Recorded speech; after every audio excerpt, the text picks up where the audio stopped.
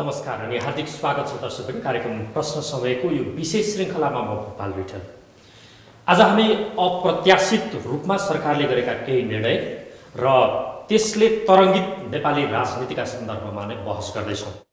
र सरकारका लागि सामान्य जस्तो लागे पनि आम जनमानसमा अप्रत्याशित जस्ता लागेका सिके सरकार सहमति र त्यस लगत्तै विप्लव माओवादीमाथि लागेको प्रतिबन्धले नेपाललाई गर्ने असर अर्थात् आम मानिसलाई त्यसले पुर्याउने असर के हो भन्ने सन्दर्भमा आज हामी बहस गर्दैछौँ र यो बहसका लागि हामीसँग हुनुहुन्छ तत्कालीन उच्च स्तरीय वार्ता टोलीका संयोजक सांसद सोमप्रसाद पाण्डे।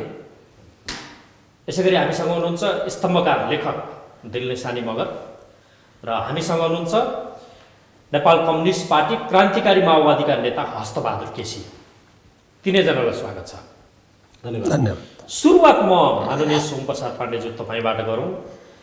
चार महिना गुजारेर खर्चैको हिसाबले कुरा गर्ने हो भने साठी लाखभन्दा बढ्ता तपाईँले खर्च गर्नुभएको त्यो बजेट विनियोजन भएको देखिन्छ।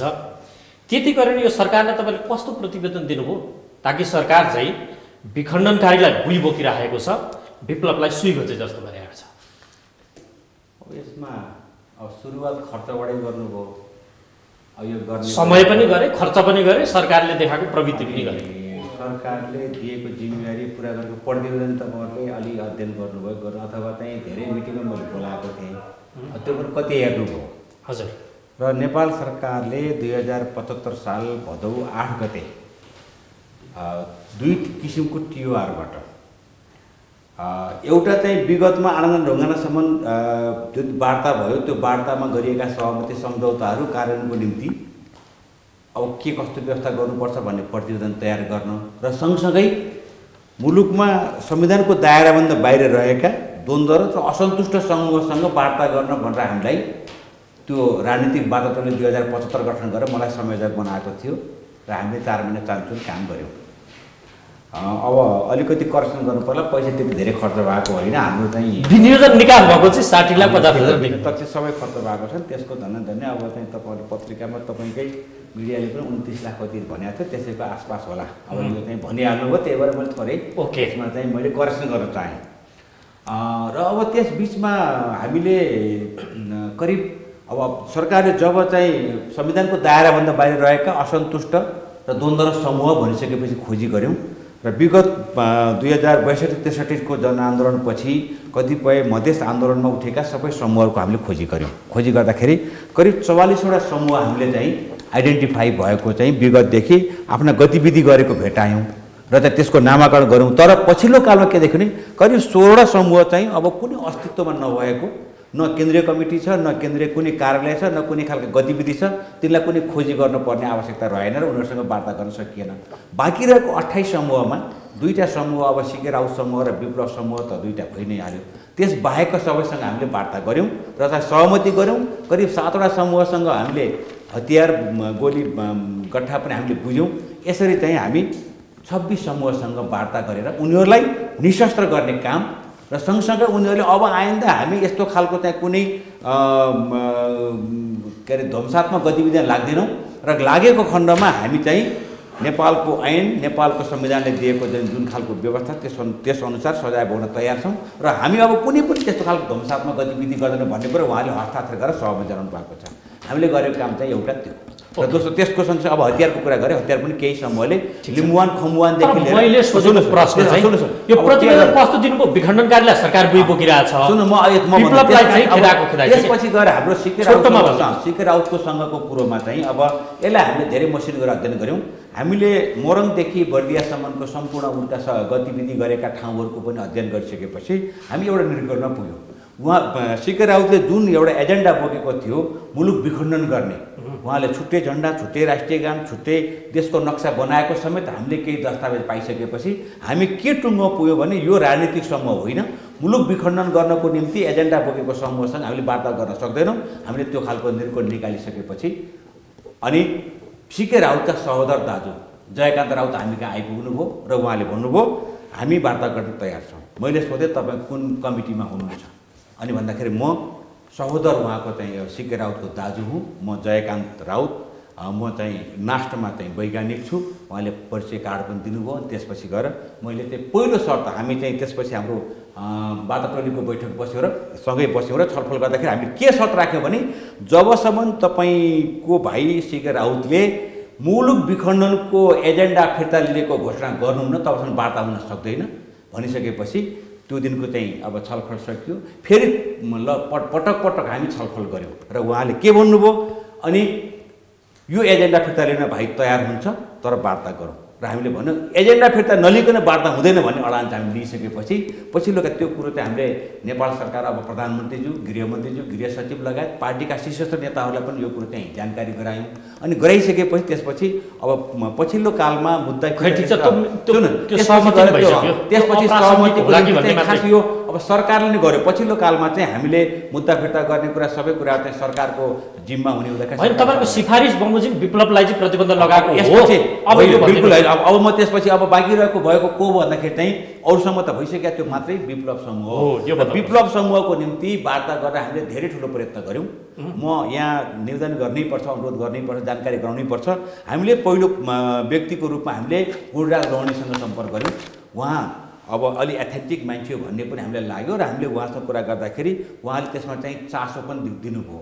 तर के त्यसपछि अरू पनि कतिपय विप्लव समूहका चाहिँ केन्द्रीय कमिटीका सदस्यहरू पोलिट ब्युरो सदस्यहरू पनि हामीसँग सम्पर्कमा आउनुभयो। कुराकानी अगाडि बढ्दै गयो। एउटा शर्त उहाँहरूको रह्यो वार्ताको वातावरण बनाउने हो भनेदेखि हाम्रो जेलमा रहेको प्रकाण्ड खड्गबहादुर विश्वकर्मा लगायत उमा भुजेल पदम राई अनि चन्द्रबहादुर खड्का लगायतको धेरै ठुलो समूह चाहिँ जेलमा छ।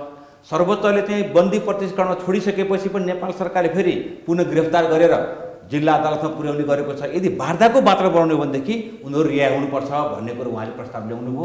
यसको निम्ति हामी छलफल गऱ्यौँ सरकारसँग। छलफल गरिसकेपछि सरकार पनि लचिलो बन्यो। वार्ताको वातावरण बनाउनुको निम्ति उहाँहरूलाई पुनः सर्वोच्च अदालतले बन्दी प्रतिष्ठीकरणमा रिहा गरिसकेपछि पुनः गिरफ्तार नगर्ने भन्ने कुरोमा सरकार पनि लचिलो बन्यो र हामी उहाँहरूलाई पुरा छोडिदियौँ। छोडिसकेपछि उहाँहरूको कार्यक्रम पनि भयो यो भिरकुटी मण्डप यो चाहिँ प्रदर्शनी मार्गमा। त्यसपछि लगत्तै उहाँहरू पाल त्यसपछि वार्ताको निम्ति इच्छुक देखिनु भएन। जब उहाँहरूको सबै चिठी नै पठाउनु होइन चिठी पठाएनौँ तर चिठी पठाउनको चिठी चिठी पठाउनको निम्ति एउटा कुरा मोडालिटी पनि तयार गर्न पर्ने हुन्छ।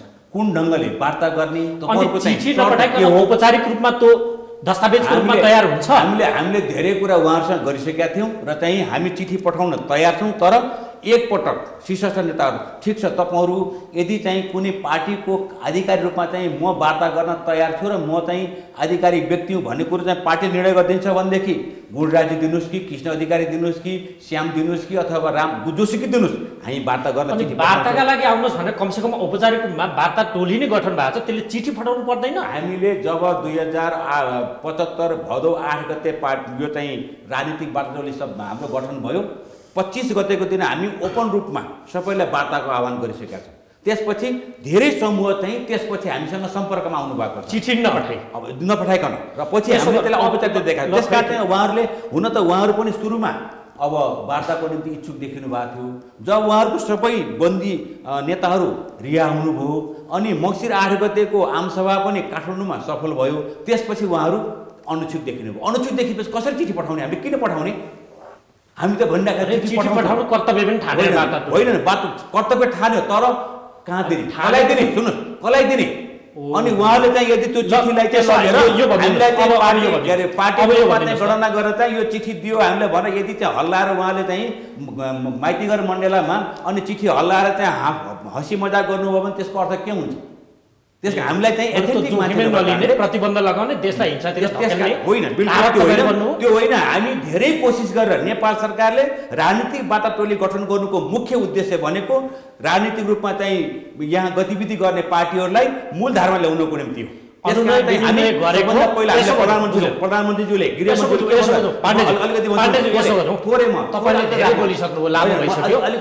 प्रश्न पार्नु पर्यो। यही कुरोमा धेरै कुराहरू प्रश्न र उत्तर अडिएको हुन्छ अथवा चाहिँ यसबाट चाहिँ क्लियर हुन्छ। कि नेपाल सरकारले वार्ता टोली गठन गर्नुको मुख्य उद्देश्य भनेको विप्लव जस्तै नपठाए आह्वान गर्नु थियो नेपाल।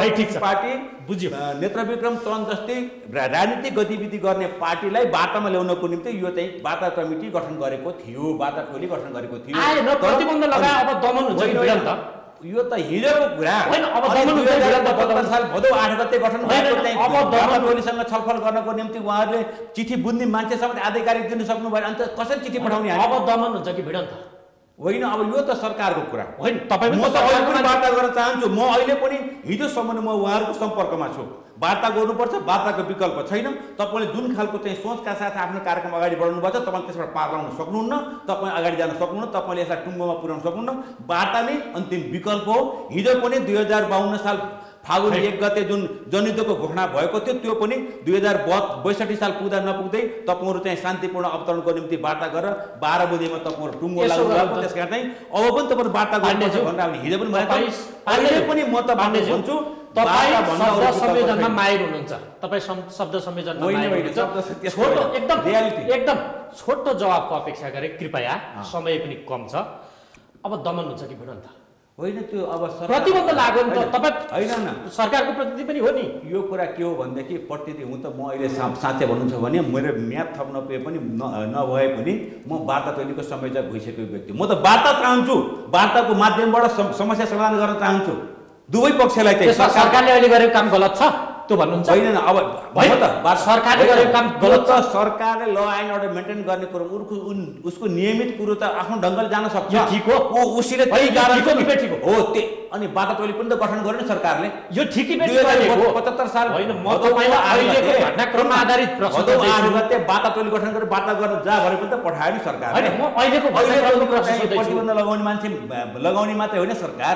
यो गलत टोली पनि त गठन गरेको छ। अहिलेको सही कि गलत होइन अब अहिले चाहिँ अब के छ भनेदेखि चाहिँ यो सही कि गलत छोटोमा नेपाल सरकार सुन्नुहोस् नेपाल सरकारले यसमा भने यो सही कि गलत अहिलेको होइन। अब तपाईँले चाहिँ सरकारले गरेका कुरा सरकारले आवश्यकता देख्यो। त्यो सरकारको कुरा हो यो सही हो। अब हामीले चाहिँ जुन खालले चाहिँ वार्ताको निम्ति आह्वान गरेका छौँ त्यसको निम्ति हामी अहिले पनि तयार छौँ र हामी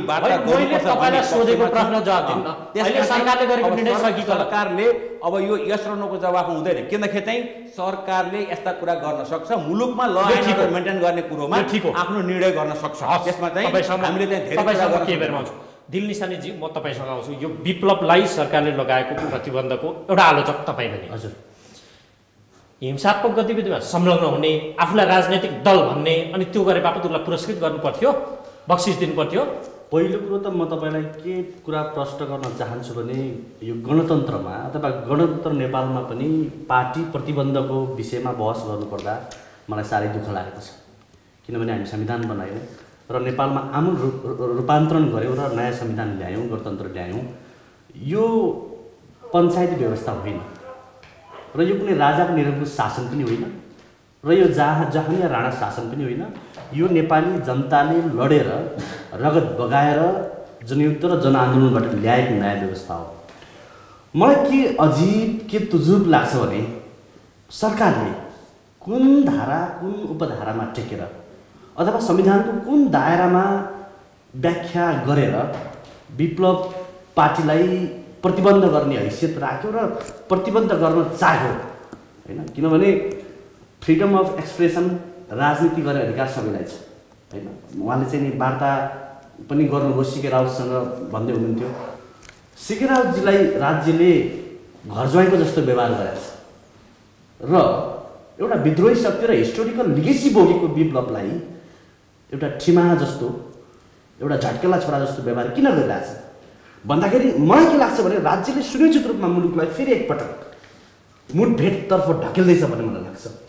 काठमाडौँमा काठमाडौँको खाल्डोमा सेना प्रहरी र सुरक्षा निकायको सुरक्षा घेरामा बस्नेहरूले कालीकोट दार्चुला हुम्ला जुम्ला मुगु रोल्पा रुकुम बागलुङ सल्यान प्युठान जाजरकोट अछामका दुर्गम ठाउँमा बस्ने जनताको सुरक्षाको बारेमा ध्यान दिएका छन् कि छैनन्? सवाल यो प्रश्न यो हो। होइन? ए भनेको अब असुरक्षित हुँदैछ देश भनेको हो। होइन। संविधानमा जस्तो विप्लव म तपाईँलाई मैले रोकेँ यहाँ जोड्नै पर्ने हो यो कस्तो गणतन्त्र हो जहाँ राजनैतिक दल प्रतिबन्धित हुँदैछ? तपाईँले त्यो भन्नुभयो। यो कस्तो गणतन्त्र लोकतन्त्र हो जहाँ फ्रिडम अफ एक्सप्रेस पनि तपाईँ लिमिटेसन गरिँदैछ गरिँदैछ। परिँदैछ? गरिँदैछ। अनि यो कस्तो छुटतन्त्र हो जहाँ राजनैतिक दलको आवरणमा हुन्डागर्दी गर्ने लुटेरा समूह अझ प्रधानमन्त्रीले दिएको त्यसलाई शब्दलाई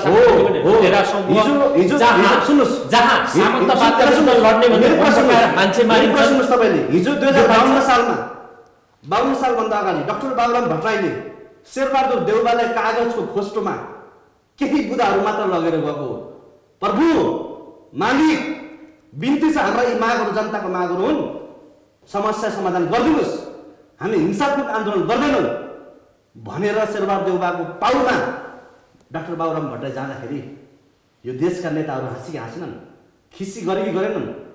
त्यस पश्चात बाबुराम भट्टराई लगायतले लगेको केही मागहरू शेरबहादुर देउबाले खिसी टिउरी गर्दा त्यो दुसाज गर्दा दुई हजार बाहन्न सालभन्दा यता नेपाली भूमिमा कति रगत बग्यो कति सुरक्षाकर्मीहरू मारिए कति सर्वसाधारणहरू मारिए कति घाइते भए कति अपाङ्ग भए त्यो हिस्टोरिकल लिगेसी बोकेको पार्टीको एउटा बाछिटा हो विप्लव माओवादी होइन? विप्लव माओवादी कुनै सिकेर आउट जस्तो वा क ख ग साना दल जस्तो त्यस्तो कुनै पार्टी होइन। अब जहाँसम्म सशस्त्रको कुरा गर्नुहुन्छ भने उहाँहरूले तराईमा रहेका साना ठुला सशस्त्र पार्टीसँग वार्ता त गरिरहनु भएको छ।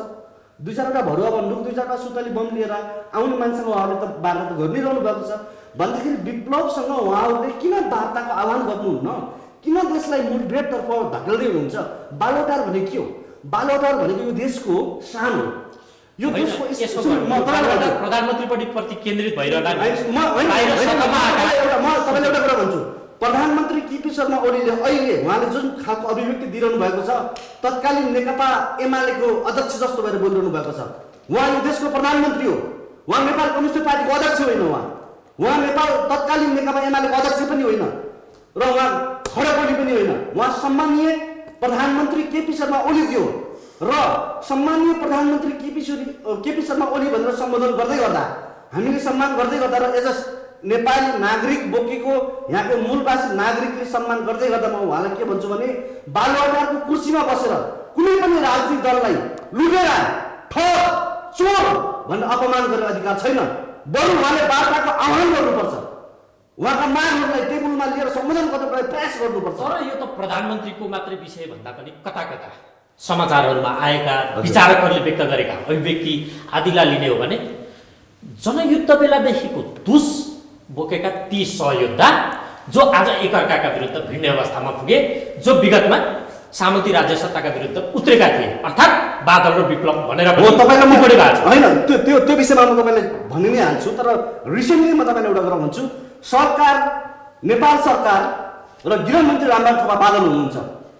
नेपाल सरकार समग्रमा कुरा गर्दाखेरि शान्ति सुरक्षामा पूर्ण रूपमा असफल भइसकेको छ केपी शर्मा ओली सरकार राजधानीको मुख्य मुख्य चोकमा बम विस्फोट भइरहेका छन्।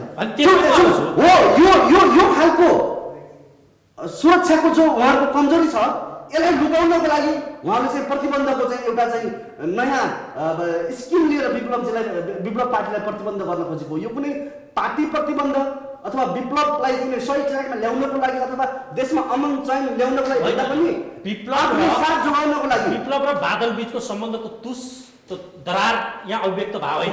उहाँहरू श्रद्धेय नेता हुनुहुन्छ। गणतन्त्र ल्याउनको लागि माओवादीबाट बुझ्नुहुन्छ म-। तपाईँलाई भन्छु म तपाईँलाई। म तपाईँलाई भन्छु। फेरि समय म। तपाईँलाई भन्छु। विप्लवजीको विद्रोहको माग अहिलेको होइन हिजोदेखि नै हो। उहाँले पार्टीमा पार्टी नफुटाइकन अथवा पार्टी नफुटाइकन विद्रोही विचारलाई अघि बढाउनुपर्छ र अल्टिमेटली हामी जनवादी व्यवस्थामा अथवा जनवादी क्रान्तिमा जानुपर्छ भन्दै गर्दा विप्लवले त्यो खालको असहमति राख्दै गर्दा बादलजी लगायतहरूले यसलाई कारवाही गर्नुपर्छ होइन? पार्टीबाट निकाल्नुपर्छ र यसलाई अनुशासनको कारवाही गर्नुपर्छ भनेर विप्लवजीलाई चार्ज लगाइयो होइन? त्यो त सत्य हो नि। त्यो सत्य हो। त्यसको प्रतिबिम्ब आज हो कि छोटोमा भन्नुहोस् न। अनि फेरि। पार्टी फुट्यो। पार्टी फुटिसकेपछि फेरि महासचिव र सचिवको लडाइँ भयो। विप्लवजी महासचिव हुन चाहनुहुन्थ्यो। होइन? तर बादलजीले त्यो पद ओगटेर विप्लवजीलाई सचिवमा धकिलिदिनु भयो त्यसपछि पनि फेरि बादलजी अस्तिसम्म सम्मान्य गृहमन्त्री हुनुहुन्छ म एकदम सम्मान गर्दछु। अस्तिसम्म उहाँ चाहिँ विप्लवको पछि पछि हिँड्नुभएको हो कि होइन? तपाईँले फोटो देख्नु भएन एउटा फोटो? जो सामाजिक सञ्जालमा भाइरल भइरहेछ ठ्याच्च भइमा बसिरहनु भएको छ विप्लवजी उठेर हाँसिरहनु भएको छ त्यो कहिलेको फोटो हो त्यो? त्यो विश्वयुद्धको फोटो हो त्यो। त्यो भेतानुहारको फोटो हो त्यो। त्यो त नेपालको फोटो हो नि त। नेपालको जङ्गलको फोटो हो नि त। अस्ति भर्खरसम्म बादलजी र विप्लवजी सहकार्य गरेर अगाडि बढ्नु भएको छ।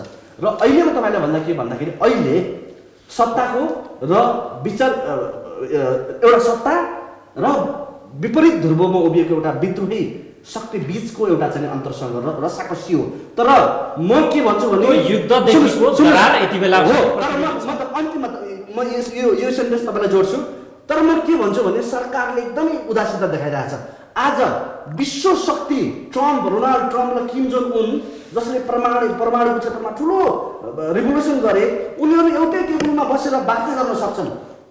र यो विश्वलाई एउटा आणविक मुक्त बनाउने अभियानमा लाग्न सक्छन् भने दुई चारवटा एसएल एसएलआर दुई चारवटा एलएनजी दुई चारवटा एके फोर्टी सेभेन दुई चारवटा सुतली बम दुई चारवटा कुकर बम भएका पार्टीसँग भएका लिडरसिपसँग किन नेपाल सरकार बन्न सक्ने? किन ओली सर ओलीजी बस्न सक्ने? ट्रम्प र किमजोन बस्नुहुन्छ भने अहिले म तपाईँसँग आउँछु। म नेपाल कम्युनिस्ट पार्टी क्रान्तिकारी माओवादीका नेता हस्तबहादुर केसीज्यू तपाईँसँग आउँछु। विप्लवजीको पार्टीसँग त कार्यगत एकता नै गर्ने सम्म भनेको तपाईँकै मुखबाट मैले सुनेको छु। हो हामीले। गरेकै हो। हिमजिम पनि अहिले पनि छ। राम्रै छ। अब त डराउने होला नि त भाग्ने होला। होइन त्यो अब हामी राजनैतिक पार्टी त्यो पनि कम्युनिस्ट पार्टीसँग हामी डराउँदैनौँ। हामी विचार आस्था र चाहिँ पार्टीका लाइनका आधारमा हामी सहकार्य पनि गर्छौँ। क्रान्तिकारीलाई एकताबद्ध गरेर चाहिँ यो महान नेपाली नयाँ जनवादी क्रान्ति सम्पन्न गर्ने हाम्रो पार्टीको निर्णय छ त्यो राष्ट्रिय सम्मेलनको निर्णय हो त्यो। त्यसो भएर हामी विप्लवजीसँग हामी डराउँदैनौँ। समस्या विप्लवजी विप्लवजीको पार्टी। कारणमा होइन। हिमचिम होइन राजनैतिक चाहिँ एजेन्डा मिल्यो भने हामी पार्टीका चाहिँ मतलब नेपाली क्रान्तिका कार्यदर्शन मिल्यो भने हामी पार्टी एकता गर्न चाहन्थ्यौँ र त्यो हाम्रो यथावधि छ। अहिले चाहिँ ती वार्ताहरू केही स्थित भएका छन्। जहाँसम्म सरकारसँग डराउने कुरा हो डराउनु भन्ने कुरा हो प्रतिक्रियावादीहरू सधैँ माओसुतले भने कागजी बा हुनु भन्नुभएको छ। हामी सत्तासँग डराउने कम्युनिस्ट पार्टी खोल्न चलाउनु जरुरी छैन। किनभने आज साम्राज्य विस्तारवादीका चाहिँ मतलब वादीका एजेन्डा भएर नेपालमा राजनीति गर्ने कम्युनिस्ट पार्टीका नाममा चाहिँ यहाँ जुन खालको प्रतिक्रान्तिकारी कदम चालिएको छ कम्युनिस्ट पार्टीका नाममा चाहिँ भएका गतिविधि नेता गर्नको लागि आज पुरा पार्टीमा चाहिँ प्रतिबन्ध लगाएको छ भने यस्तासँग हामी डराउँदैनौँ। हामी प्रतिरोध तयार हुन्छौँ तर हामी नेपाली क्रान्तिको निम्ति अझै पनि सत्तारूढ पार्टी नेकपासँग पनि धेरै क्रान्तिकारीहरू छन्। त्यहाँ पनि हिजोको माओवादी युद्ध लडै आएका चाहिँ लडाकुहरू छन् कार्यकर्ताहरू छन् नेताहरू छन्। एमालेमा पनि हिजोदेखि चाहिँ झापा युद्धदेखि आएका राजनैतिक कार्यकर्ताहरू छन्। यद्यपि त्यहाँबाट आएका दुईटा शक्ति झापा विद्रोहबाट आएको एउटा शक्ति जो झापाका चाहिँ हामीले झापा ऐतिहासिक विद्रोहका भगौडा भन्ने गरेका छौँ हामीले। अर्को भगौडा अर्को महान जनयुद्धको नेतृत्वबाट आएका चाहिँ जनयुद्धका आएका चाहिँ माओवादी भगौडाहरू मिलेर बनेको यो प्रतिवादी सत्ता हो। सत्तासँग डराउने हो भने हामीले राजनीति गर्न छोड्नुपर्छ कम्युनिस्ट पार्टीले चाहिँ पुरै खारेज गर्नुपर्छ तर सवाल के हो भने मुलुकलाई जुन मुठ भेटमा लैजाने षड्यन्त्र रचिएको छ यो उहाँहरूको होइन। नेकपा सत्ता नेकपा माओवादी रहेको साम्राज्य विस्तारवादीहरूको वैदिक शक्तिहरूको यसको बारे सब प्रमाण हामी दिन सक्छौँ। कि हामीले भनेका हौँ पहिलो संविधान सभालाई खारेज गरेर दोस्रो संविधान सभाको जो आयोजना गर्ने कुराहरू आयो तत्कालीन चाहिँ मतलब प्रधानमन्त्री हाम्रै पार्टीको चाहिँ नेता बाह्र भट्टराईजी हुनुहुन्थ्यो पार्टी चाहिँ प्रचण्डजी हुनुहुन्थ्यो उहाँले चाहिँ मतलब संविधान जनताको रगत र पसिनाबाट यहाँहरूले भने जस्तै संविधान सभा मार्फत नेपाली क्रान्ति गर्ने भनिन्छ त्यो त माओवादीको चाहिँ एजेन्डा हो नि। हो त्यसलाई खारेज गरेर विदेशीहरूको एजेन्डामा ग्रान्ड डिजाइनमा जसरी चाहिँ दोस्रो संविधान सभा पहिलोलाई खाइ दोस्रो गर्ने कुरा भयो। त्यसको विरुद्धमा हामी लड्यौँ र चुनाव बहिष्कार गऱ्यौँ। त्यति बेला विप्लवजीहरूको समूह जो अहिले छ ऊ पनि हामीहरूसँगै हुनुहुन्थ्यो। त त्यो संविधानले चाहिँ घोषणा गर्ने बित्तिकै कालो संविधान भनेर असौ तिन गतालाई हामीले कालो दिवस मनाउँदै मनाउँदै आइरहेका हुनाले सवाल के हो भन्नुहुन्छ भने यहाँ अहिले जुन सत्तारूढ भएको पार्टी कम्युनिस्ट पार्टीको नाममा आइरहेको छ कम्युनिस्ट पार्टी हो नि यो। भरमर्छ यो भगौडाहरूको प्रतिक्रिया क्रान्तिकारी चाहिँ नेतृत्व गरिरहेको पार्टी। आज जहाँ कम्युनिस्ट पार्टीका झन्डाहरू चाहिँ एउटा हातमा झन्डाहरू चाहिँ फहराइरहेको छ अर्को हातमा बन्दुक ल्याएर क्रान्तिकारी दमन गर्न गरेको छ। संसदीय व्यवस्थाको चाहिँ मतलब क्यारेक्टर यही हो। एकातिर चाहिँ संसद संसदवादले के भन्छ भन्नुहुन्छ भने एकातिर चाहिँ प्रजातन्त्र मानव अधिकारको झन्डा बोकेर हिँड्ने अर्को हातमा बन्दुक बोकेर क्रान्तिकारी अथवा ती मुक्तिगामी जनताहरू अथवा जनताहरूमाथि दमन गर्ने नीति व्यवस्था भनेको त्यो संसदीय व्यवस्था हो त्यसबाट उहाँहरू त्यो व्यवस्थाको चाहिँ अहिले त्यहाँको एक किसिमको जिम्मा लिनुभएको हुनाले यो अहिले उहाँले दमन गर्नु दमनबाट समाधान गर्न खोज्नु भएको छ भन्ने कुराहरूको बारेमा न दमनबाट झापा आन्दोलन समाप्त भएको थियो न सुगानीका पाँचजना महान शहीदहरू गरेको त्यो झापा आन्दोलन त समाप्त भएको होइन नि। दसौँ हजारभन्दा बढी नेपाली आमाका आँटी अक्षरहरूले शहादत प्राप्त गर्दाखेरि ती चाहिँ बाबुराम प्रचण्ड समाप्त हुनुभएको होइन। तर वैचारिक विचरण भइसकेपछि आएको समस्या हो त्यसो भएर उहाँले- डराएको होइन नडराउने? त्यसो विप्लवजीहरूसँग काँधमा काँध मिलाएर अब राज्य सत्ता विरुद्ध उत्रिने हामीसँग हिसाबले हामीसँग एक भए हामी पार्टी एउटै बनाउँथ्यौँ। मिलेन छुट्टा छुट्टी लडिरहेका छौँ। आफ्ना एजेन्डाहरू छन्। जहाँसम्म जहाँसम्म नयाँ जनवादी होइन सरकारले दमन गर्न खोज्यो अब। सरकारले दमन गर्न खोज्यो या भिडन्तै चाह्यो भने उनीहरूसँग मिलेर त्यो सरकार विरुद्ध लाग्ने त। त्यो हामीले चाहिँ उहाँहरू कसरी जान्छ तपाईँहरू के गर्ने त? हामी आफ्नो एजेन्डा हामी त होइन, यो एउटा- एउटा बताउनुहोस् त। हाम्रो पार्टीले चाहिँ मतलब देशमा जस्तो चाहिँ एउटा संयुक्त मोर्चा निर्माण गर्छ। उसले त्यस्तो जना आन्दोलनको आह्वान गरिसक्यो। हामी जनताका बिचबाट जनतालाई उठाएर सहरी सहरीय चाहिँ आन्दोलन मार्फत जनविद्रोह मार्फत नयाँ जनवादी क्रान्ति सम्पन्न गर्न हाम्रो पार्टीले गर्छ। तर त्यो सशस्त्र हुनेछ भन्ने कुरा पनि कहिले भुल्नुहुन्न। कुरा त्यही हो, हामी सशस्त्र होइन, सशस्त्र विद्रोह गर्ने पार्टीले वैदेशिक शक्तिहरूको अमेरिक साम्राज्य भारतीय चाहिँ विस्तारवादको चारो खाएका अहिलेका प्रत्येक सत्ताका एजेन्डाहरूसँग हाम्रो पार्टी डल्दै हामी डराउँदैनौँ। तर यसको नाममा चाहिँ हामी बिना तयारी क्रान्तिमा जाँदैनौँ। हामी तयारीका तपाईँहरूको एजेन्डामा म आउँछु। तत्कालीन शान्ति मन्त्रालयको तथ्याङ्क अनुसार सत्र हजार आठ सय छ्यासीजना द्वन्द्वमा मारिएका छन्। त्यत्रा मानिसको खुन बग्यो। यो खुनको भेल बग्दा पनि अझै क्रान्ति आवश्यक छ अझै मान्छे मारिनुपर्ने। क्रान्ति सम्पन्न। हुन्न अझै। कम्युनिस्ट पार्टीको लक्ष्य भनेको विप्लवले जे गरिरहेछन् ठिक गरिरहेछन् जस्तो अभिव्यक्ति दिनुहुन्छ तपाईँ निजी सम्पत्तिको अन्त्य हो जनताको घाँस बास कपासको व्यवस्था गर्ने कुराहरू हो मान्छे मारिनै पर्ने अझै समाजवाद अझै मान्छे कुराहरू हो। मारिनुपर्ने त्यसो भएर आज होइन, अझै अझै मान्छे मारिनु पर्ने? माफियाहरू अझै मान्छे मारिनु पर्ने? हत्याराहरूको चाहिँ संरक्षण गर्ने शक्ति जो आज दलालहरू राष्ट्रको सम्पत्ति कुम्ल्याएकोहरू विदेशमा जम्मा गरेर पैसा ल्याएर वैधानिक बनाउने सत्ताधारीहरूलाई अनि उनीहरू सत्ता के अरे यहाँ समाजवाद आइसक्यो जनताको समस्या हल भइसक्यो घाँस बाँसको व्यवस्था भइसक्यो भने एउटा मात्रै उदाहरण चाहिँ मतलब समाजवादी व्यवस्था हुने बित्तिकै शिक्षा र स्वास्थ्य राज्यको माधरमा जान्छ। राजनीतिक क्रान्ति सम्पन्न भइसक्यो। अब समृद्धि समृद्धि। यो त पुँजीवादीहरूको भन्ने नाराहरू हो। यो साम्राज्यवादीले भन्दै आएको नाराहरू हो यो। समृद्धि भनेको जबसम्म गाँसबाटको व्यवस्था हुन्छ आम जनताको मुक्ति हुन्छ र सारा राष्ट्रिय सम्पत्तिहरू यहाँका उद्योग कल कारखाना जनताको हातमा सारा जमिन किसानको चाहिँ मतलब जिम्मामा र राष्ट्रिय सम्पत्ति जनताको हातमा नआएसम्म र जनताको जनवादी अधिनियमको स्थापना नभएसम्म यहाँ क्रान्ति हुन्छ र अहिले वर्गीय समाजमा सङ्घर्ष चल्छ केही बेरमा आउँछु। माननीय सोमराज पाण्डेज्यू तपाईँलाई प्रति प्रश्न दुईजनाका आएका छन्। टिप्नु भएको छन् जवाब दिनु होला त्यसमै म प्रश्न थप्छु। प्रचण्डले भर्खरै माओवादी सिद्धियो भन्ने नठान्नुहोला। अर्को माओवादी जन्मिन्छ। धम्कीपूर्ण रूपमा उहाँको एउटा भाषण अभिव्यक्ति आएको थियो। उहाँले त्यति भन्दै गर्दा सरकार चाहिँ फेरि यो आगोमा पानी थप छेप्नु त कता कता बारुद पड्काएर समस्या समाधान गर्न लागे जस्तो देखिन्छ। उहाँकै शब्द लिने हो भने त भगौडाहरूले यो गरिरहेछन्। अब यसमा चाहिँ मैले धेरै टिप्पणी गर्न चाहन्न।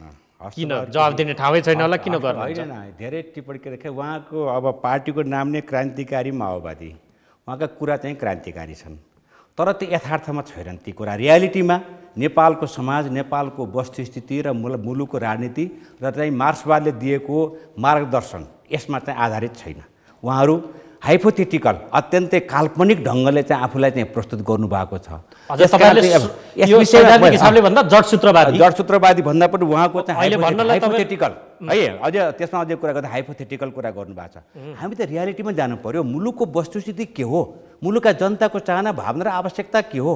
र हामी कुन परिवेशमा छौँ? हामीले चाहेर मात्रै पनि सबै कुराहरू राष्ट्रिय अन्तर्राष्ट्रिय परिवेश तयार नगरिकन हामीले चाहिँ आफ्नो लक्ष्यलाई पुरा गर्न सक्दैनौँ। म- अहिले अलिकति जनताको भावना आवश्यकता शब्द जोड्नुभयो। कम्युनिस्टहरूको आन्दोलन वर्गीय विभेद खत्तम गर्नका लागि। बिल्कुल बिल्कुल बिल्कुल। त्यसको निम्ति कति- वर्ष भयो? आज तपाईँ फागुनको उन्तिस गते हुनुहुन्छ। नेपाल कम्युनिस्ट पार्टीलाई नेपाली जनताले आफ्नो दुई तिहाईको मत दिएको र सरकार बनेको एक वर्ष आज चाहिँ छब्बिस दिन भएको छ। अनि त्यसपछि सुन्नुहोस् अनि त्यसका बिचमा कति काम अगाडि बढे भन्ने कुरो पनि सबको बिचमा छर्लङ्ग छ। नभएको कुरा पनि होलान् कतिपय गुनासा त्यसको प्रक्रिया नि, मैले धेरै धेरै कुराहरू यहाँ बहस गर्न पर्ने आवश्यकता मैले छैन। किनकि। म सकौँ अलिकति सकौँ। त्यस कारण चाहिँ मैले यदि हामीमा जनताको अभिमत लिएर हामीले चाहिँ यदि यो मुलुकलाई रिफर्म गर्न सक्छौँ चाहन्छौँ भनेदेखि नेपालको संविधान जुन दुई हजार बहत्तर साल आश्विन तिन गते लागू भएको छ तपाईँ जनताको अभिमत लिनुहोस् दुई तिहाई बहुमत ल्याउनुहोस् तपाईँले चाहेको निजी सम्पत्तिको अन्त्य पनि गर्न सक्नुहुन्छ तपाईँले चाहेको घाँस बाँसको कपासको पनि व्यवस्था गर्न सक्नुहुन्छ तपाईँले चाहेको तस्कर हत्याराको अन्त्य पनि गर्न सबै गर्न सक्नुहुन्छ। जानुहोस् न जनताको बिचमा जानुहोस् न जनताको अभिमत लिएर त्यहाँ त्यो खालको चाहिँ आफूलाई श्रेष्ठकर ठान्ने खालको ठाउँमा। जनता कहाँ जान नसक्ने अनि बाहिर बाहिर दुई चारवटा बम पड्काएर क्रान्तिकारी बन्ने यो चाहिँ हुन सक्दैन। त्यस कारण चाहिँ छ। यही संविधानमा हामीले पैँसठी वर्ष लामो लडाइँ लडेर यो देशमा चाहिँ सङ्घीय लोकतान्त्रिक गणतन्त्र ल्याएका छौँ र त्यो सङ्घीय लोकतान्त्रिक गणतन्त्र ल्याइसकेपछि हामीले दुई हजार बहत्तर आश्विन तिन गते मुलुकमा चाहिँ संविधान सभा मार्फत संविधान प्राप्त गरेका छौँ। त्यो संविधानमा दुई तिहाई बहुमत लिएर आएपछि हामीले चाहिँ मुलुकको सार्वभौमता मुलुकको अखण्डता र चाहिँ नेपाली जनताको स्वाभिमानलाई के अरे कुनै आँच नआउने गरी सबै कुरा समाधान गर्न सक्छौँ सबै परिवर्तन गर्न सक्छौँ संशोधन गर्न सक्छौँ। आउनुहोस् न त्यसो भए जनताको अभिमत लिएर तपाईँहरू चाहिँ श्रेष्ठ बनेर ल्याउनुहोस् रिफर्म। किन बन्दुक पड्काउने किन गोली बारुद खर्च गर्ने किन मान्छे मार्ने किन चाहिँ यहाँ डोजर र चाहिँ मोटरसाइकल र गाडी जलाइदिने? यहाँ चाहिँ गाडी चाहिँ मोटरसाइकल जलाएर अनि डोजर जलाएर अनि सटै सुविधा लिएर विदेशी जुन चाहिँ कम्पनी छ त्यहाँ चाहिँ पैसा पठाएर नेपाललाई अनि त्यसपछि कत्रो ठुलो क्षति गर्ने अनि बहादुरी अनि क्रान्तिकारी यो हुन सक्दैन। त्यस कारण चाहिँ मलाई अलिकति थोरै चाहिँ उच्चारण गर्न मन लाग्यो। म त फेरि पनि दोहोऱ्याएर भन्छु तपाईँहरूको हिम्मत आँट छ भनेदेखि संविधान संशोधन गर्ने गरी दुई तिहाई मत जनताबाट अभिमतबाट तपाईँ राज्य सत्ता कब्जा गर्नुहोस्। यसमा यसमा चाहिँ मेरो एकदम ठुलो चाहिँ तपाईँहरूप्रति सद्भाव रहने? त्यस कारण चाहिँ अर्को कुरो अनि अब अरू कुरो के छ एउटा कुरा उहाँले दुई तिहाईको र बहुमतको बडा मिठो कुरा गर्नुभयो। म उहाँलाई त्यसपछि म उहाँलाई के भन्न चाहन्छु भने यो सरकार जो बन्यो जुन जनताले मतदान गरे ती जनताहरू कुनै ढुङ्गा माटो हिमाल पहाडले मतदान गरेका होइनन्। हामीले पनि भोट हालेको यो सरकारलाई। यो सरकार निर्माण बनाउने विषय बरालिएला कि भन्ने चिन्ता आयो कि होइन? मलाई यो आजको तपाईँले संविधानलाई मान्ने कि नमान्ने? संविधानमा व्यवस्था गरेर तपाईँले लागू गर्न सक्ने कि नसक्ने? त्यो ठाउँमा पुग्न तपाईँ सक्ने कि नसक्ने? हामीलाई थाहा छ नि त म पनि जनताबाट चुनिएर आएकै। मान्छे हुन् अनि? जो उहाँले भन्नुभयो नि हामीलाई हाइपोथेसिस कुरा गर्नुभयो भन्नुभयो संशोधनवादीले बोल्ने भाषा यही हो। लेनिनले यही भन्नुभएको थियो कि चाहिँ अब क्रान्तिकारी र जडसूत्रवादी भन्ने थियो। त्यहाँका चाहिँ ती म- रसियाका जो रसियन क्रान्ति भयो अक्टोबर क्रान्तिभन्दा पूर्व त्यहाँका मेन्सिपिकहरू एसेरहरू त्यसपछि गएर चाहिँ अँ, का कार्ला काउसीहरूले पनि उहाँहरूलाई चाहिँ लेनिनहरूलाई त्यही जडसूत्रवादी भन्ने गर्नुहुन्थ्यो। उहाँले पनि त्यो कुरालाई के भन्नुभएको छ भने यो क्रान्तिकारीहरूमा लाउने चार्ज यो अरू अरू उपाय अरू चाहिँ परमाणुहरू अथवा त्यस्तो तर्कहरू हुँदैनन्। त्यसो भएर अहिलेको सत्ताधारी जो पार्टी छ यो चाहिँ के भन्दा संशोधनवादको बाटो हुँदै प्रतिक्रियावादमा पतन भइसक्यो उनीहरूले आज प्रत्येक सत्ताको चाहिँ नायिका भइरहेको छ। सत्ता आफ्नो होइन। आज योसँग वर्ग छैन जनता छैन। ज उहाँले दुई तिहाईको बडा चिप्ला कुरा गर्नुभयो संसदीय व्यवस्थाबाट चाहिँ समाजवाद र साम्यवाद आउँदैन यो मार्क्सवाद विपरीत धारा हो यो साम्यवाद त संशोधन तपाईँहरूको धारा यही हो। त्यसो भएको हामी त साम्यवादमा जान चाहन्छौँ हामीले संविधानमा समाज- समाजवादको परिलक्षण राखेका छौँ। बिचमा गएर है, संसदीय व्यवस्थामा गएर। करोडौँ। त्यही त अनि अब धेरै कुराहरू गर्नुपर्ने त्यति मैले छलफल गर्नुपर्ने मैले आवश्यकता देखिरहेका छैन अब यसरी खर्च गयो भनेदेखि त हाम्रो आफ्नो आउने, कुरा मात्रै हुन्छ अनि। भ्रष्टाचारलाई बढाउने जनतामाथि लाठो लगाउने र गोली चलाउनेहरूले चाहिँ मतलब जनताको समृद्धिका कुरा मुक्ति कुरा गर्नु यो जतिको डाँटो सिल्ली कुरा केही होइन त्यसो भएर हामी संसदीय व्यवस्था सिल्लीहरूको व्यवस्था पनि गरेका छौँ र माओले भन्नुभएको छ संसदीय व्यवस्था भनेको खसीको टाउको झुन्डाएर कुकुरो मासु बेच्ने पसल भन्नुभएको थियो। आज त्यही परिणत त्यही परिणाम नेपालमा आइरहेको छ हामी देखिरहेका छौँ। त्यसो भएर उहाँका तर्कहरू उहाँका प्रमाणहरू सबै वैहात छन्। नेपाली जनतालाई ढाँट्ने ठग्ने र आज हेर्नु न कता कता घटना घटेका छन्। आज यत्रो वाइ वाइट बडी चाहिँ प्रकरण भयो। अनि त्यसलाई ढाक्सो बनाउने कुराहरू भयो। त्यो चाहिँ निर्मला पन्तको भयो। आज सारा कुरालाई डाइभर्ट गर्न जवाब- चाहिँ यहाँ प्रतिबन्ध लगाइएको छ। सवाल यो पनि। उठाउनु भयो। हामी यसरी बुझ्नुपर्छ संसारका उत्तर दक्षिणतर्फ फर्किएका जस्ता ध्रुवहरू ट्रम्प र किम किममा। एक ठाउँमा बस्न सक्ने। सक्ने। हाम्रामा यसो दुई चार थान सुतली बम सुतली बम होलान् दुई चार थान बन्दुक होलान्। तिनीहरू बोकेको शक्तिसँग वार्ता गर्न नसक्ने शान्ति सुरक्षा अमन चयन कायम गराउन नसक्ने राजनैतिक दललाई प्रतिबन्ध गराउने के गर्न खोजेको? अब त्यस। विषयमा मैले अब धेरै त्यो प्रश्नको जवाफ दिन पर्ने मैले ठाने। सुरुमै मैले भनेको छु वर्तमान सरकारले वार्ताको माध्यमबाट यी सबै कुरा समाधान गरौँ भनेर वार्ता टोली पनि गठन गर्यो। त्यसको निम्ति वार्ता टोली पनि पटक पटक त्यो त तपाईँले अघि भनिसक्नुभयो, त्यो कुरा नदोहोऱ्याउनु। सुन्नु त्यस कारण अब यो अनि तपाईँहरूले गर्न गरेका कामहरू सबै त्यसमा डिलिट गर्ने बिर्सिदिने। अनि त्यसपछि गएर नयाँ नयाँ कुराले चाहिँ गर्दै अब केही कमी रहेको कुरा मात्रै औल्याएर पाइन्छ। अब यो वार्ता टोलीबाट जुन खालको प्रयत्न भयो किन उहाँहरू विप्लव नेतृत्वको पार्टी कानुनी रूपमा वैधानिक रूपमा कहीँ दर्तै छैन। त्यो त सरकारले भनेकै छ। होइन दर्तै छैन। दर्ता गरेका छैन। होइन त्यो पार्टीलाई प्रतिबन्धको अर्थ के? यो बताउनुहोस् न। अनि त्यसपछि गएर चाहिँ तपाईँहरूले चाहिँ त्यो पार्टी भनेर कसरी भन्नुहुन्छ त? अनि त्यहाँ चाहिँ त्यो उसमा ए, त्यसो भए हामीले सुन्नु सुन्नु सुन्नु भन्ने त्यसपछिदेखि बम उहाँले पड्काएको। अनि अनि रोहन सुन्नु रोहन गुरुङको चाहिँ बम कल घरमा कसले बम पड्कायो। हिजो चाहिँ अब रोल्पा रुकुमदेखि ठाउँ ठाउँका चाहिँ ठुल्ठुला आगजनी कसले गर्यो। हिजो नारायणघाटको चाहिँ भरत भरतपुर नगरपालिका वडा नम्बर पाँचमा बम कसले पड्कायो। अनि यी सबै चाहिँ सबै तथ्यहरू छैनन्। यो त यो के ए सबै कुराहरू। त्यस कारण चाहिँ अर्को अर्को।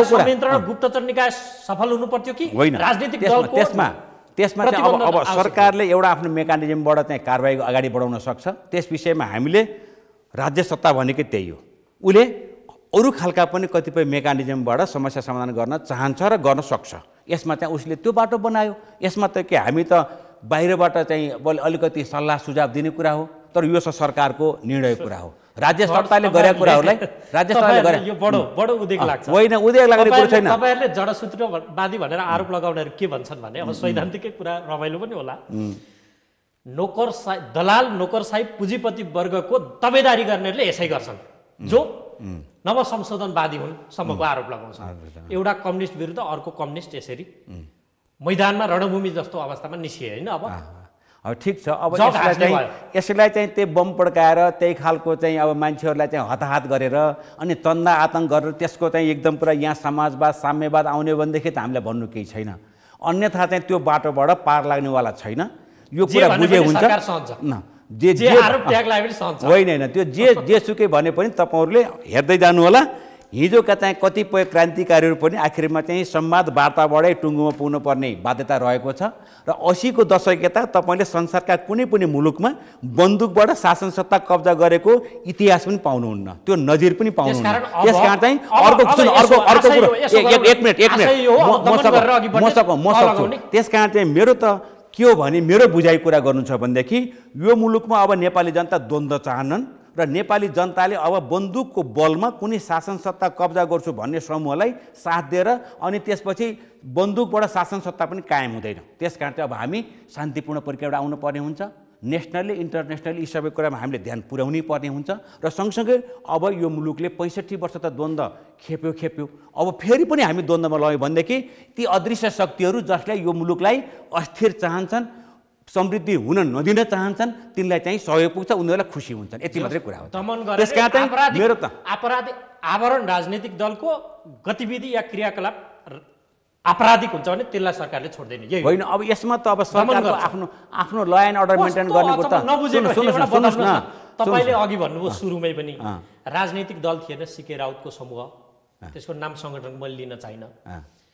त्यसलाई विखण्डनको बाटो देख्ने त्यस्तो भयावह अवस्थालाई चाहिँ शर्त थियो नि त। म फेरि बिचमै ल्याउने। होइन न बिचमा उसले आफ्नो विखण्डनको मुलुक विखण्डन सुन्नु न मिल- मुलुक विखण्डन गर्ने एजेन्डा फिर्ता लिएमा वार्ता हुन सक्ने। आयो नि त ऊ त रूपान्तरित भएर आयो। नेपालको राजनीतिको मूलधारमा आउन म चाहिँ चाहन्छु। सुन्नुहोस्।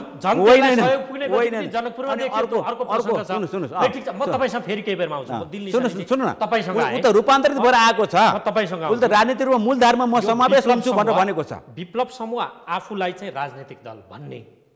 हुन त तपाईँले अघि संस्थापन माओवादीको बाछिटा हो भन्नुभयो तथापि। ऐन कानुनले त फेरि नियम नै खोज्छ नि। राजनीतिक दलको रूपमा ऊ दर्ता कहीँ छैन।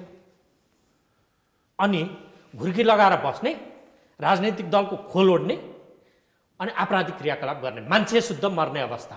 त्यसो अनि यो जनताले सहनुपर्ने सरकारले सही दिनुपर्ने त्यसो भए सिके राउतको पार्टी चाहिँ कहाँ दर्ता छ? त्यो त यो तहको अनि दर्ता नभएको सिके राउतको पार्टीसँग चाहिँ शर्त मान्यो शर्त भने के? अघिल्लो दिनसम्म अदालतमा बहस भइसक्यो हुँदै गरेको मान्छेको पछिल्लो दिनको रातमा सहमति हुन्छ? अदालतलाई चाहिँ भएका थिए अरे त। आएन अदालत सुन्नुहोस् न, मलाई अजिब के लाग्छ भने होइन तपाईँले सिकेतिर नजोड्नुहोस् न मैले तपाईँले तर्क यो होइन होइन तपाईँले विप्लवको पार्टी दर्ता छैन दर्ता नभएको पार्टीलाई सरकारले किन रेस्पोन्सिबिलिटी रेस्पोन्स गर्ने भन्ने खालको कुरा अनि दर्ता। छैन भने मान्छे मार्न पाइन्छ त्यसो भए उन्नाइस दिनको जनआन्दोलन दर्ता गरेर गरे हो झापा विद्रोह सुखानी काण्ड दर्ता गरेर गरे हो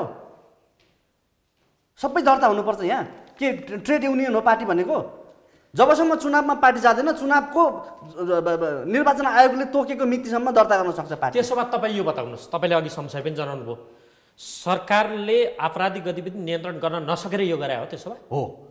सरकारले आफ्नो असफलता ढाकछोप गर्नको लागि। कहाँ कहाँ? र सरकारलाई यो सुन्नुहोस्। र सरकारलाई यो पनि थाहा छ विप्लव नेकपासँग हतियार पनि छ। ए। राम्रोसँग थाहा छ। र यो सबैभन्दा राम्रो बादलजीलाई थाहा छ। र सायद मलाई लाग्छ क्यान्टोनमेन्टसँग नजिक भएर काम गरेका र उहाँहरू जस्तो श्रद्धेय नेता उहाँहरू जस्तो श्रद्धेय नेतालाई पनि थाहा छ। र हामीलाई पनि थाहा छ कि विप्लवजीसँग हतियार पनि छ र हतियार नेपाली सेनाले प्रयोग गर्न सक्ने खालको हतियार पनि छ। त्यही भएर त्यही भएर हामीले अहिले एउटा सामान्य नागरिकको हैसियतले के भनेको भने प्लिज विप्लव एउटा शक्ति हो। हिजोको एउटा चाहिँ नि युद्धको लिगेसी बोकेको पार्टी हो। चान्चुने पार्टी होइन उसलाई राजनीतिक व्यवहार गरेर पिस प्रोसेस जस्तै अर्को पिस प्रोसेस अर्को बाह्र बुधे सहमति गरेर नेपाली जनताको अमन चयन र शान्तिको सपनालाई पुरा गर्नको निम्ति विप्लवजीसँग वार्ता गर्नु पर्यो भन्दा। यहाँ यहाँ के भइरहेछ यहाँ? लुटेरा भनिन्छ। होइन बोलाएको रे मानेन। उहाँले भनिसक्नुभयो तत्कालीन वार्ता टोलीको म त संयोजकै हो। म यहाँ अगाडि समेत उभिएको छु। यस विषयमा फैलाइदिएर हुन्छ बोलाएको रे त। दिल निशानजीलाई म अलिकति फेरि अनुरोध गर्छु। वार्ताको निम्ति प्रयत्न नभएको होइन। उहाँहरूलाई नै देखेर नेपाल सरकारले पचहत्तर भदौको आठ गते उच्च स्तरीय अधिकार छोडियो। अधिकार। सम्पन्न हो नि त। होइन, त्यो सरकारले त मात्रै तपाईँको रियालिटी तपाईँकै अगाडि छ।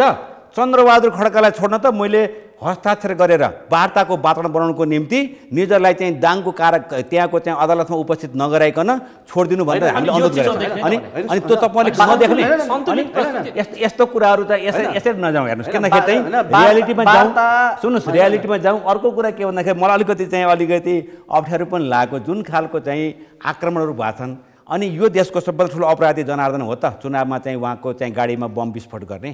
अनि अर्को सबभन्दा अपराधी पाल्पाको वसन्त घट्टे मगर हो जो चाहिँ एउटा सामान्य किसानको अथवा सामान्य एउटा चाहिँ राजनीतिक रूपमा पूर्ण आफ्नो जीवन समर्पित गरे मान्छे उहाँलाई चाहिँ चुनावको बेलामा चाहिँ बम विस्फोट गरेर धन्ने सिद्ध्याउने ड्राइभरलाई घाइते भयो हुन त सामान्य मान्छे घाइते भयो। अनि त्यो ठुलो अपराधी हो। अनि रोहन गुरुङ चाहिँ सबभन्दा ठुलो अपराधी हो त यो देशको। अनि बमबाड गर्ने। अनि। एनसेलको चाहिँ उसमा चाहिँ सामान्य खालको चाहिँ भैँसे अनि। अनि भैँसे भैँसे पार्टीको मान्छेलाई चाहिँ जुन हत्या गरियो मर्यो अनि त्यो चाहिँ के ठुलो अपराधी हो त्यो? अनि यही हो त हाम्रो चाहिँ क्रान्तिको चाहिँ अब के अरे अनि त्यसको दोषी विप्लव कि त्यसलाई रोक्न सरकार यहाँ कुरा गर्नुहुन्छ। अहिले चाहिँ अब चाहिँ रोक्नको निम्ति पनि तपाईँहरूले अब रोक्न यो चाहिँ हो यही कुरा चाहिँ होइन, यही त मलाई लाग्छ। मलाई के लाग्छ भन्दाखेरि सरकारलाई पनि यही प्रेसर पर्यो। तपाईँले जसरी प्रश्न गर्नुभयो कि यो सरकारले रोक्न सकेन भन्ने खालको प्रेसर गर्नुभयो सम्भवतः त्यही कुरालाई लिएर सरकारले अहिले चाहिँ यो हिजोको चाहिँ जुन निर्णय गर्यो त्यो हुनसक्छ। त्यस कारण चाहिँ त्यसप्रति त हामी चाहिँ अब अहिले धेरै कुरा गर्दैनौँ किनखेरि चाहिँ म त वार्तामै जानुपर्छ भन्ने मेरो अहिले पनि निष्कर्ष हो र मेरो चाहिँ उहाँप्रति। आह्वान हो। है अहिले पनि म चाहिँ वार्ता पर्छ। विकल्प वार्ताको विकल्प छैन। बिल्कुल। म बिल अहिले पनि भन्छु। अहिले पनि म भन्छु। होइन। सरकारले आफ्नो ल एन्ड अर्डर मेन्टेन गर्नेमा नियमित कार्यक्रममा गरेको कुरालाई मैले चाहिँ अब चाहिँ न अदालतको कुरा मैले चाहिँ यहाँ बेठिक भयो ठिक भयो भन्न सक्छु। न सरकार निर्णय गरेको कुराहरूलाई चाहिँ आफ्नो ल एन्ड अर्डर मेन्टेन गर्नेको त गर्छ उसले। खोइ ठिक छ। आफ्नो कुरा गर्छ। तर सरकारले तर के हो डर चाहिँ खै अब मैले मेरो त। निष्कर्ष के हो भनेदेखि चाहिँ वार्ताको विकल्प छैन। ढिलो या चाँडो। भन्छ नि देर या। सबेर उहाँहरू वार्तामा आउनै पर्छ। वार्ताको। माध्यमबाट मात्रै हामी सबै। टुङ्गो लगाउन सक्छौँ। बडो उद्वेग र ताजुक लागेर पनि आउँछ। यो क्रान्तिलाई हेर्ने दृष्टिकोण फरक भएर हो कि? परिस्थिति नै त्यस्तो बनेको हो कि? बाबुराम भट्टराई तत्कालीन रूपमा तपाईँहरू सबै सहयोद्धा बनेर हिँडेकाहरूको अलिकति कहानी यहाँ जोडौँ। उहाँ दर्शन नै गलत छ भनेर नयाँ दर्शन सहितको नयाँ पार्टीमा। तत्कालीन शस्त्र युद्ध लडेको विप्लव जो तपाईँहरूकै सहयोद्धा उहाँ हतियारसहितको क्रान्तिमा। जसलाई सरकार आज प्रतिबन्ध लगाउने अवस्थामा छ। तपाईँहरू जनवादी क्रान्ति रुसी मोडल जस्तै जस्तै सहरी विद्रोह मार्फत भन्दै हुनुहुन्छ। अब गोपाल किराँतीजीको आफ्नै कहानी प्रचण्ड। सत्ताको सय सयलमा हुनुहुन्छ। यो भएको के त फेरि? मोहन वैद्य किरण पनि भन्नुहोस् जोड्नुहोस् न अझै। उहाँ त त्यही पार्टीको हुनुभयो। सवालमा क्रान्ति लडाइँ। विगतदेखि नै जो कम्युनिस्ट पार्टी चाहिँ विभाजित भएर अहिले विभाजित छ यी सबै कुराहरू चाहिँ क्रान्ति सम्पन्न गर्ने जो कार्यदिशा हुन्छ रणनीतिक लक्ष्य पुरा गर्न त्यसमा नमिलेका कुराहरू छन्। अहिले पनि बिरुवाजीसँग पनि हाम्रो कार्यक्रम मिल्दैन। तत्कालिक त्यसरी हामी अलग छौँ। मसाल छ। त्यसपछि चाहिँ अर्को नेकपा छ ऋषि कटेलजीको नेतृत्वमा छ। अनि अरूहरू पनि छ अब। नयाँ पनि हुनुहुन्छ। तपाईँहरूकै गुणमा भन्नुहुन्छ भने अहिले कोट गरे वस्तुगत पैसा आत्मगत परिपक्व नभएसम्म क्रान्ति सम्पन्न हुँदैन क्रान्तिका चाहिँ मतलब मिठो प्रचण्ड अपरिपक्व हुन् होइन प्रचण्ड अपरिपक्व बाबुराम गोपाल। विप्लव सबै प्रचण्ड बाबुरामजीहरूले नेतृत्वको राम्रो नेतृत्व गर्नुभएको त्यो कुरालाई चाहिँ सही मूल्याङ्कन गर्नुपर्छ र उहाँहरूलाई चाहिँ त्यो त्यो त्यो छ। जबसम्म शान्ति प्रक्रियामा चुनाव बैठी यता उहाँ जसरी चाहिँ वैचारिक रूपमा विचलन हुनुभयो साम्राज्यवादी विस्तार बिस्तारै साम आत्मसमन गर्नुभयो वर्गप्रति र जनताप्रति क्रान्तिप्रति उहाँले चाहिँ मतलब गद्दारी गर्नुभयो महान जनयुद्धबाट प्राप्त सम्पूर्ण उपलब्धिहरू प्रत्येक सत्तालाई बुझाउनु हो सेना विघटन हतियार बुझाउने कुराहरू सत्ता बुझाउने कुराहरू भइसकेपछि उहाँहरू सम्पूर्ण कुरा फालेर विचार सकिएपछि चाहिँ एमाले पहिल्यै विचलित भएर चाहिँ जो संसदीय भाषमा गएको थियो र प्रदेश सत्ताको नेतृत्व गरिआइरहेको थियो त्यसमा विलय भयो। यहाँ पार्टी एकता होइन विलय। पार्टी एकता हुँदा सिद्धान्त विचार दर्शनमा छलफल बहस हुन्छ बल्ल कार्यसमिति चाहिँ एकता हुन्छ। कहाँ त्यो भएको थियो एमाले र चाहिँ मतलब त्यो मागेको बिच छलफल केही पनि भयो। चुनाव जित्नलाई चुनावी एकता गरियो। त्यसपछि त्यसलाई जोगाएर राख्नु राष्ट्रको सम्पत्ति लुट्नुको निम्ति चाहिँ मतलब अहिले पार्टी एकता गरिएको छ। माथि तल तल पार्टी एकता भएको त देख्नुहुन्छ। आज माथि पार्टी यो हो त्यसो भएको हुनाले चाहिँ उहाँहरू त उहाँहरू त आज कर उठाएका पैसाहरू। एउटा अन्डाको कर लागेको यो परिस्थितिले बनायो कि दृष्टिकोणै यस्तो भयो? आज आज चाहिँ यस्ता यो विरोध गर्नलाई हो। त्यही एउटा गायक कलाकारलाई चाहिँ हत्या गर्ने षड्यन्त्र भएको कुराहरू बाहिर आए। केसीज्यू यस्तो मैले तपाईँलाई सोधेको समाजवादी चाहिँ- हो कम्युनिस्ट पार्टी भन्ने मिल्छ मैले तपाईँलाई चाहिँ, मैले तपाईँलाई यो परिस्थिति नै यस्तो बनायो कि दृष्टिकोणै यस्तो भयो? होइन कमिसनरको दृष्टिले कहिले पनि गलत हुँदैन। चल्नुपर्ने हुन्छ। जहाँसम्म उहाँहरू हिजो कमिस्ट हुन्जेलसम्म सच्चा क्रान्तिकारी हुनुहुन्थ्यो जनयुद्ध दस वर्षको जनयुद्ध नेतृत्व गर्नुभयो त्यसपछि वस्तु हो वस्तु बिग्रिन्छ गल्छ कुहिन्छ। मान्छे पनि मर्छ त्यो वस्तुको वस्तु बिग्रिसकेपछि उदाहरणको रूपमा हेर्ने हो भने हेर्नु न फाटेको दुध फेरि दुध बन्छ। फेरि घिउ बन्छ त्योबाट त पनिरसँग बल्ल त्यो पनि बडा तागतदार हुँदैन। त्यसो भएर अहिले मैले भनिसकेँ त्यसो भएर उहाँले क्रान्ति कुरा गर्ने उहाँले समाज गर्ने वहियात कुरा ढाँट जनतालाई छल्नेर चाहिँ जनताबाट भोट ल्याउने। उहाँले भन्नुभयो नि अब सुमप्रसादजीले भन्नुभयो जनताको बिचमा गएर कुराहरू। उहाँहरूलाई थाहा छ। उहाँलाई त यो धेरै थाहा छ कि चाहिँ मतलब प्रचण्डजीहरूलाई जत्तिकै थाहा छ त्यत्तिकै त्योभन्दा पहिला केपीजीहरूलाई थाहा छ माधवजीहरूलाई थाहा छ उहाँहरूलाई थाहा छ नि त। तर उहाँहरू झुट कुरा गर्नुपर्छ। आज रा राष्ट्रिय के अरे राजनैतिक क्रान्ति सम्पन्न भइसक्यो आर्थिक क्रान्ति हुनु चाहिँ आर्थिक त पुँजीवादीले भन्ने कुराहरू आज समाजवादको चाहिँ पतन भइसक्यो चिनमा आर्थिक शान्तिको नाममा उनीहरू अगाडि बढिरहेका छन्। हामी त समाजवाद मान्दैनौँ। जहाँसम्म यहाँ उहाँले आफूलाई समाजवादको चाहिँ म जाने भन्नुहुन्छ समाजवादी समाजवादी नमस्वरूप हुनु पर्दैन थियो। त्यसो भएर जनतालाई ढाड्ने छल्ने सारा चुनावमा जाने राङ्गा भैँसी काट्ने सब गरेर चाहिँ ल्याएको। आज हामी आइरहेको छ नि एनसिएलले पनि कहाँ हाने भन्ने कुराहरू आइरहेको छ। यहाँ खबर के विभिन्न मिडियाहरूले त्यो सत्ताधारी प्रचण्ड केपीहरूले चाहिँ अरूको पैसा लिएर चुनाव लडेका हुन् त्योबाट भन्ने कुरो आएको छ खै उहाँले पुष्टि गरेर खण्डन गर्यो आज पास गरेर नल्याएर खण्डन गर्नु पर्यो। त्यस कारण चाहिँ कहाँ कति सम्पत्ति के छ भन्ने कुरोहरूको हिसाब किताब राखेर चाहिँ दलालहरूलाई माफियाहरूलाई तस्करहरूलाई हत्यारा अपराधीहरूलाई पाल्ने पोख्ने यो सत्ता कमिस्टको हुनसक्छ आज यी सबै अपराधको बारेमा जनता विद्रोहमा आउँदैछन्। हत्याहरू चाहिँ मतलब भइरहेका छ यसको बारे ढाक सब गर्नको निम्ति उनीहरूले गरेका क्रियाकलापलाई लिएर चाहिँ यहाँ प्रतिबन्ध लगाएर यसलाई डाइभर्ट गर्न खोजिएको छ यसलाई समाप्त पार्न गर्न खोजिएको छ। कुनै राजनैतिक हिसाबले होइन किन भन्दाखेरि उहाँहरू राजनैतिक रूपमा गर्न चाहनु किन भन्दा यो सत्ता उहाँहरूको होइन। नेकपा सत्ताधारी पार्टीको होइन। यो सत्ता दलाल तथा नोकर पुजिर सामन्त वर्गको सत्ता उहाँ त नोकर रूपमा काम गर्नुभएको छ आज। त्यस कारण उहाँहरू दलाल। हो भनेको छौँ हामीले दलाल सत्ता भनेको हुनाले यो दलाल सत्ता चाहिँ फाँसीवादी हुन्छ हेर्नुहोस् है। अन्तिम प्रश्न भएको हुनाले। अन्तिम प्रश्न। मसँग समय कम भएकोले। हजुर। अब परिस्थिति चाहिँ कस्तो बन्दै जान्छ यो मुलुकको? समस्या सवाल के भन्दा हाम्रो पार्टीले आज एउटा निर्णय गरिसक्यो। वक्तव्य मार्फत प्रेस वक्तव्य आएको साथ थाइसकेपछि बस्यो। हाम्रो पार्टीले चाहिँ यो राजनैतिक समस्या बनाउनाले नेकपा चाहिँ मतलब ने- बिलो नेतृत्वको नेकपा एउटा पार्टी हो। राजनैतिक पार्टी हो। उसको एजेन्डा के के छन् त्यो त सबैले बुझ्ने कुराहरूलाई बु- बुझाउने कुरा रहला। जहाँसम्म अहिले केही गतिविधिहरूको चाहिँ मतलब लिएर जो प्रतिबन्धन खोज्यो गलत छ यो फाँसीवादी चरित्र हो त्यसो भएर पहिलो नम्बरमा चाहिँ वार्ताद्वारालाई हल गर्नुपर्छ। अनि उनका कार्यकर्ता नेताहरूलाई जथाभावी धरपकड गर्ने यातना दिने मुद्दा लगाउने झुटा मुद्दा लगाएर तर्साउने ठटाउने काम गर्ने हात्ती चाहिँ मतलब यहाँ साङ्लो के अरे नाङ्लो ठटाएर हात्ती तर्साउने काम भइरहेको छ यो। अरू क्रान्तिकारी तर्साउने कुराको बारे तपाईँले भन्नुभयो नि? यो कुरा भइरहेको छ। त्यसो भएर उहाँहरू प्रति क्रान्तिकारी हो प्रति क्रान्ति फाँसीवादी हुन्छ सामाजिक फाँसीवादी। एउटा त कम्युनिस्ट पार्टी झन्डा उठाउने। अर्को चाहिँ प्रति क्रान्तिकारी कामहरूलाई के भन्छ भने सामाजिक फाँसीवादी भन्छ। यो विशेष पहिल्यै भएको मार्क्सवादी नेवादले गरिसकेको छ माओवादीले पुष्टि गरिसकेको छ हेरेर।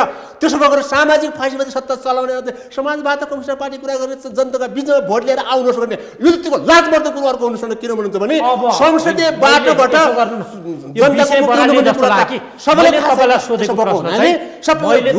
र हामी अन्तिममा के भन्छौँ भने वार्ता त हल गर्नुपर्छ। उहाँले पनि चाहिँ आफ्नो एजेन्डाहरू सपारो स्पष्ट राख्नुपर्छ। कति के के भयो उहाँले भन्नु होला। वार्ता नभए हजुर वार्ता नभए वार्ता नभए वार्ता त नहुने कुरै आउँदैन होइन नभए परिस्थिति कता। वार्ता। परिस्थिति कता सरकारले चिठी। नै पठाएन वार्ता नै पहल गरेर हामीले देखाएको खै हामीलाई थाहै भएन जनतालाई जसो जसले दुःख दुईवटा वार्ता भए जनतालाई थाहा थियो नि त के गर्दै एजेन्डा किन चाहिँ सफल असफल भन्ने कुरा थाहा थियो? तर त्यस्तो कुरा कमी होला। गर्दै होला। दिनुहोस् त। तर आज अबको परिस्थिति देशको कता जाँदैछ सङ्केतको रूपमा एकै लाइनमा? अब अब चाहिँ यो सत्ताधारी जुन छ नि प्रतिक्रान्तिकारीहरूको दिनगण्य चाहिँ मतलब सुरु भएको छ। अन्तिममा खरानी। जनता होइन क्रान्तिकारी होइन प्रतिक्रान्तिकारी हुन्छ। आज संसारमा कहीँ पनि प्रतिक्रान्ति छैन गोरबाचोको पनि छैन जनसभ्यको पनि छैन। न्यायवादीको पनि छैन। प्रचण्ड केपी हुनेवाला छैन।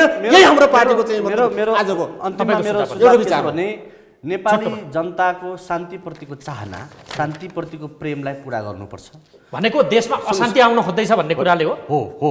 र अशान्ति त्यसका लागि? र र यसरी प्रतिबन्ध होइन इच्छुकले भन्नुभएको छ नि तिमी भन्न त भन्छौ यो गीत नगाऊ तर हामी भने त्यही गीत गाइरहन्छौ। तिमी भन्न त भन्छौ यो बाटो नहिँड तर हामी भने त्यही बाटो हिँडिरहन्छौ।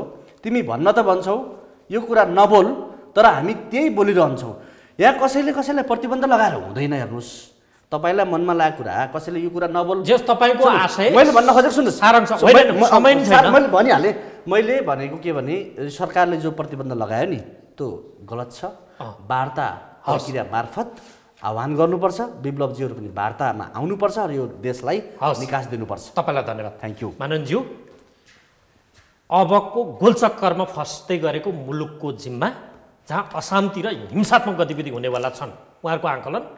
उहाँले दिएको चेतावनी सन्देह भने त्यसको जिम्मा सरकारले लिन्छ त्यसको आफ्नो आफ्नो खालको होइन, त्यसको। जिम्मा सरकारले लिन्छ कि लिन्न? सुन्नुहोस् व्याख्या हो कूटनीतिक सरकारले जिम्मा लिन्छ कि होइन? अरू कुराहरू होइन सरकार त सबै कुराको जिम्मा लिन्छ जब सरकार बनिसकेपछि मान्छे मुलुकको जिम्मा। सबै कुरा चाहिँ वर्तमान सरकार त्यसमा अझै वर्तमान सरकार त एउटा यस्तो यो मुलुकमा सबभन्दा